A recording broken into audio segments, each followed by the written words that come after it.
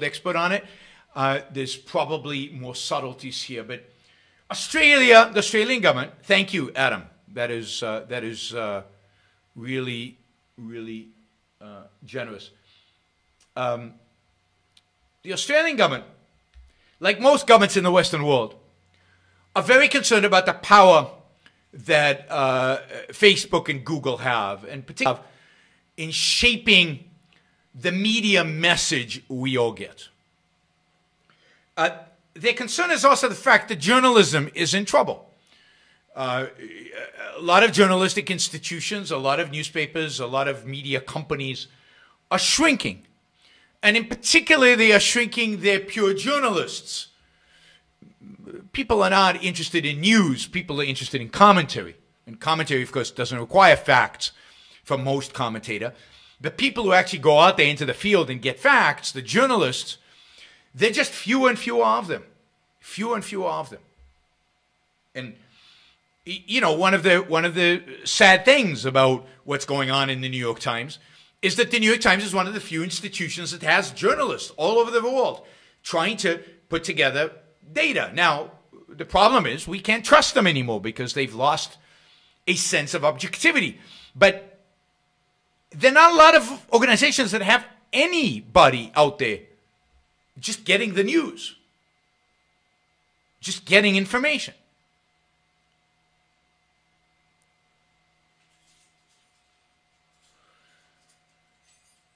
So it's sad that the few organizations that are out there uh, uh, uh, are losing money. The New York Times is making a lot of money these days. It's quite profitable, in spite of what Donald Trump kept saying about them. They're actually quite profitable. Um, but uh, they're so biased, it's hard to take them seriously. And, and of course, there are no replacements. Media, real media companies, again, not commentary not Tucker Carlson. The people who produce the news that Tucker Carlson can comment on. There are fewer and fewer of those people. And one of the problems, that one of the observations that the government of Australia has made and the European Union has made, and some people in the United States have made, is that we have these massive companies, Google and Facebook, for example, that consume news, if you will. In other words, they don't directly consume it, but they, well, Google does, and we'll talk about that, but they make it possible to distribute the news. That is, the news, the distribution networks. They distribute it by people sharing and people liking and people people actually grabbing these news stories from the news websites and then sharing them but and and the news is being read on Facebook's platform not in the original uh, you know, page of the news organization. And Facebook sells advertising on the page where the news is being read. And the newspaper that produced the news is getting, in Yiddish, it's called bubkis. In other words, nothing. Right? So that's the situation we live in. And it's not a situation we should ignore. It's a situation with consequences. It's a situation that if you care about journalism, if you want to see more journalism, if you want to see the news media thrive, not shrink and disappear, it's an issue. It's an issue that people need to figure out how to solve. The question is who should solve it, not whether it should be solved. So, what you have is Google and Facebook making a huge amount of money off of advertising on news stories that are produced by other people. And the news media is not getting anything in return. It's not getting anything in return. Now, there's a lot of ways in which this could be solved. Free market ways. News organizations could say, you can't share this. We won't give you access to share it unless you give us a cut of the advertising revenue. The news organization could say, we're putting all our news behind a firewall like the New York Times does.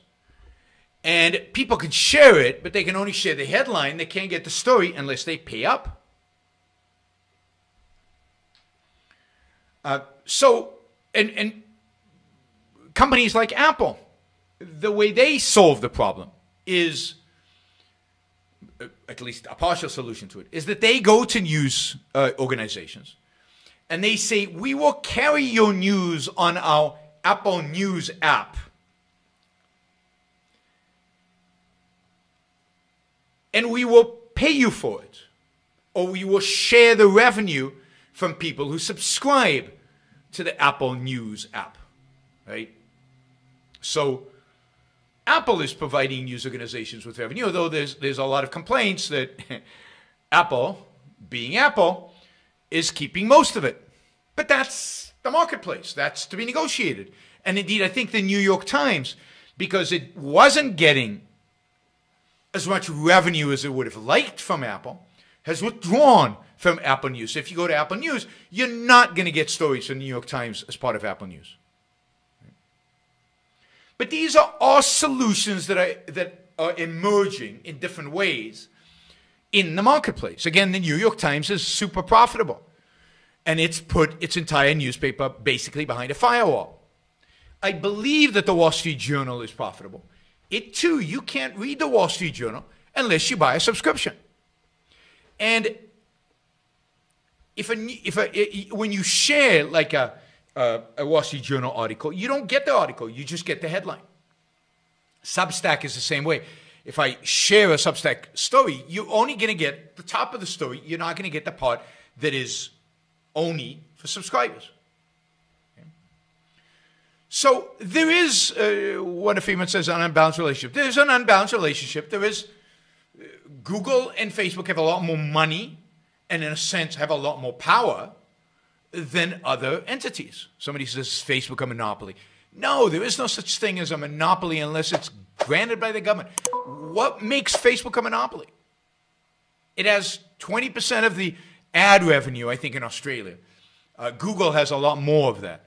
Um, it offers you, the customer, a product for free. What is it monopolizing? What is it monopolizing? Um, Twitter is competition. There's this new, this new app, app called Clubhouse, which is competition. It doesn't yet have a revenue model, but it'll develop one in its competition. Right? What is it about Facebook that makes it a monopoly? Nothing. Zero. Zilch. It dominates the Facebook like social media, okay? But it created that space. And if it did it without government help, without government support, without government subsidies, without government protection, why is it a monopoly? It's a good competitor who beat the competition and dominated the field. That should be celebrated. Facebook didn't do anything to Parler.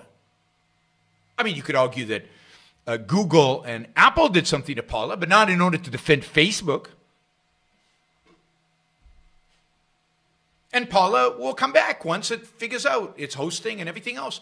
There are other solutions in the marketplace that we have. But it was all market driven. And yes, there might have been government influence in the background. That's a whole other topic. But then what you should be accusing, what you should be blaming is the market influence, not, and the threat that uh, Facebook faces for antitrust, and the threat that Google faces for antitrust, and the threat that all these companies face from government regulation, the fact that governments are regulating. That's what we should be complaining about. And then, yes, when you have this threat, when you point a gun at a company and then tell them, ooh, you better behave, then they are going to behave. But that's not because they're a monopoly. That's because the government is pointing a gun at them. Parler is back. I tried to access Parler through my app and I couldn't. But supposedly Parler is back. It's hosted on a different a cloud web service. Uh, hopefully, it will build a robust network that allow people to use it, in spite of the fact that some people don't like it.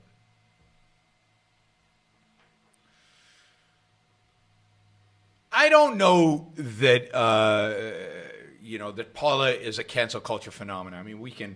The whole Parler issue is, I think, a separate issue. Um, let's see. Parler is a competitor. Yes, you're right. Parler is a competitor, for example, to Facebook. And there are others. There's Minds.com. There's there used to be Gab. They're still around somewhere. There are others. They're just not as good. It's just not as good. But uh, somebody, uh, uh, David says Parler is back on the web version. Apple, Google won't allow the app back on their stores. But I have the Parler app already. Why won't it work? Even though I can't download it, why won't it work on my computer? If I if I delete it, then I can't get it back. But if I have it,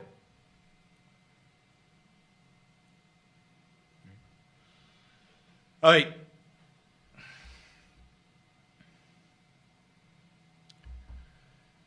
Where was I? Australia.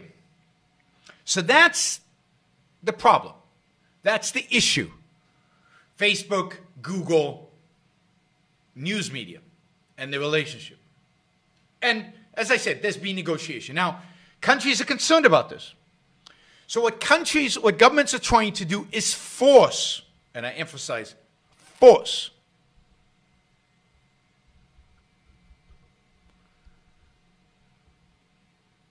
Google and Facebook to pay for the news that they use. Uh, and that's what Australia is trying to do. So Australia had a commission to look into the monopoly power that Facebook and Google have. Again, I don't think they have monopoly power. I don't I think that's a false definition of monopoly. I think monopoly should only be used to refer to a government granted government granted monopoly.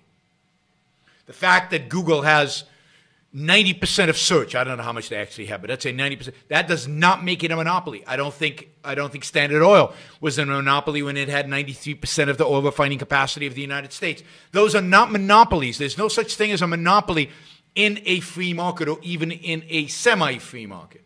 Monopolies are government creatures. The post office, that's a monopoly. Market share does not denote monopoly. Government power, the use of a gun, the use of force, that is what denotes a monopoly. No, you can say bullshit, but that's not. You know, as, as, as an economist, I can tell you that's not what defines monopoly.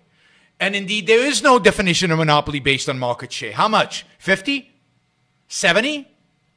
90? What's the market? How do you define the market? Is it the market for search? Is it the market for online advertising?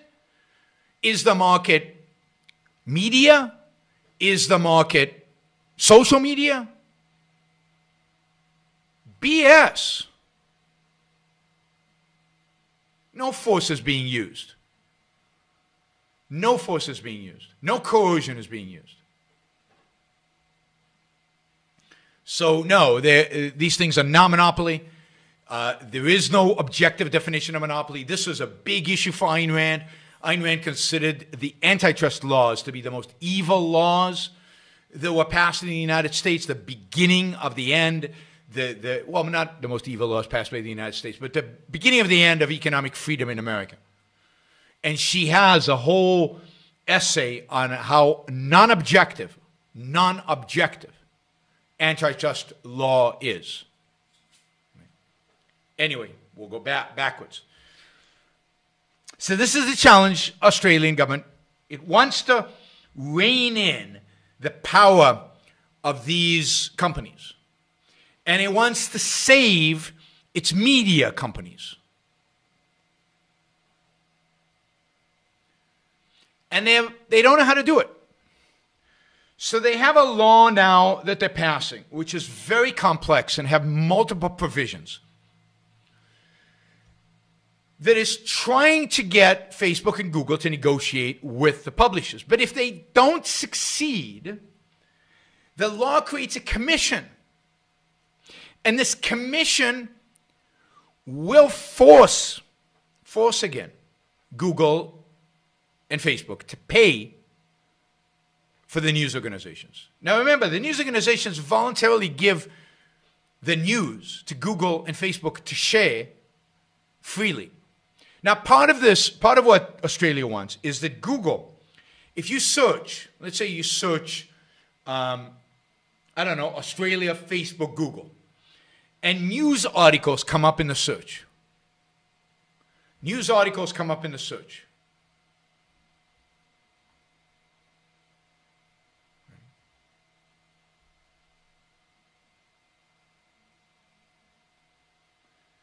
And they want Google to pay every time those links are clicked on. And now that's ridiculous. The whole point Google says is these are not sponsored links. These are not paid for links. This is just a service we provide people searching. You can sponsor a link on the side. You can pay for certain search words. And there's also something called Google News.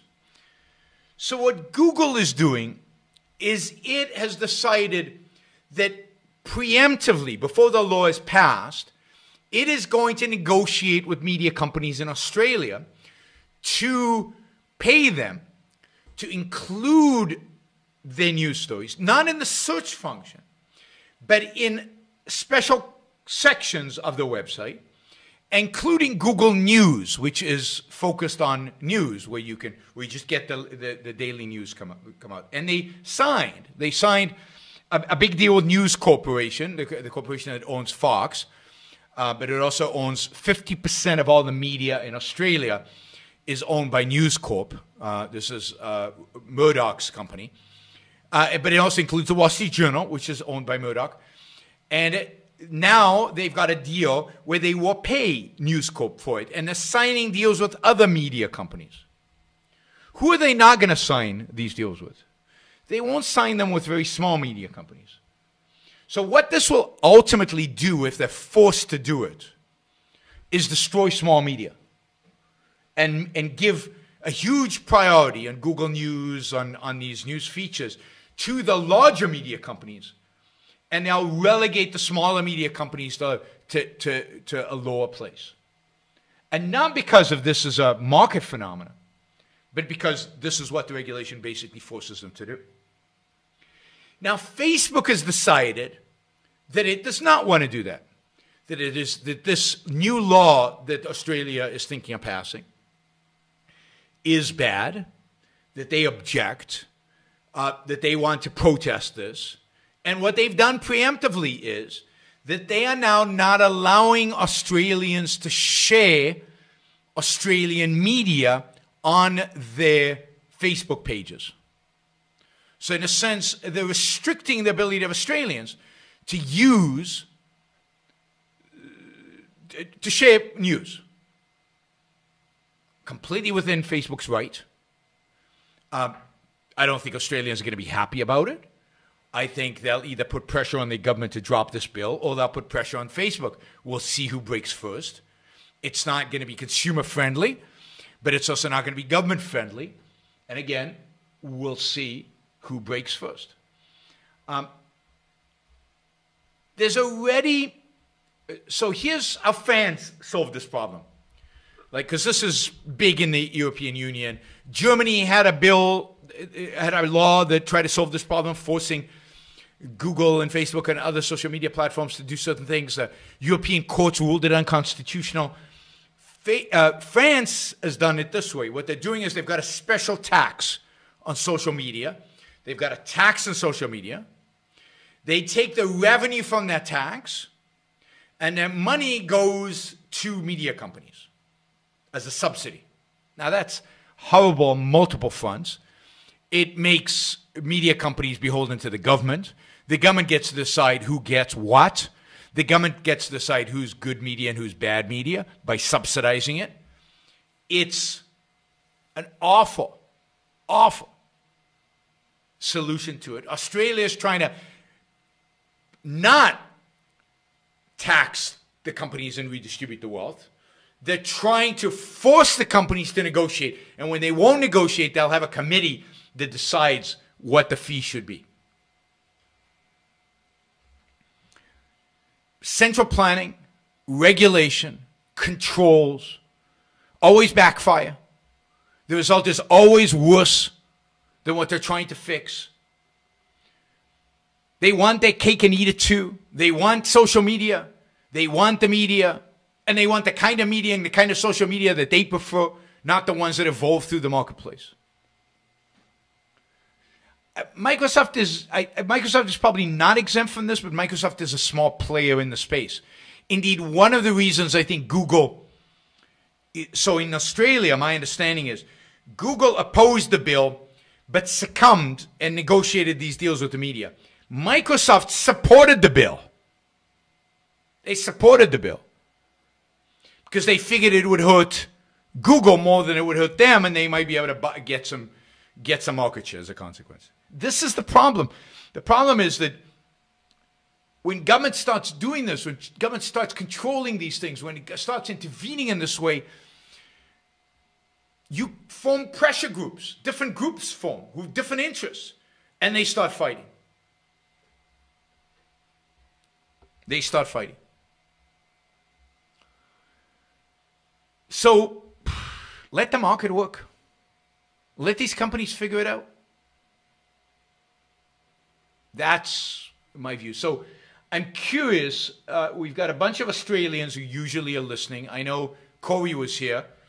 Of course, Troy uh, is is Australian, and he's been very supportive of the show. I don't know if he's on live right now, um, but he's been on. I'm curious to find out on the chat maybe um, if my interpretation of what's going on in Australia is right, and if my position on it makes sense. Uh, so I'm curious to find out from the Australians, if we have Australians here, um, if that is uh, that is true.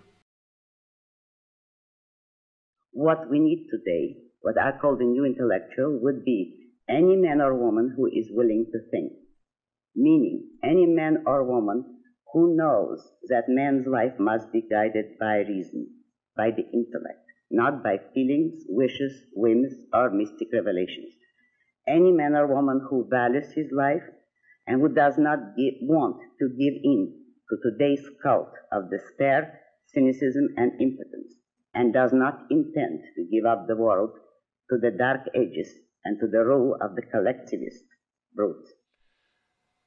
All right, before we go on, reminder Please like the show. We, have got 163 live listeners right now, uh, 30 likes.